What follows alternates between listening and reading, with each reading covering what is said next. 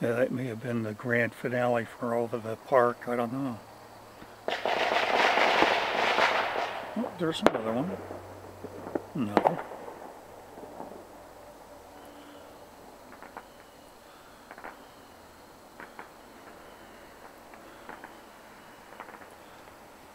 I don't know if the city is putting on those fireworks over there or not.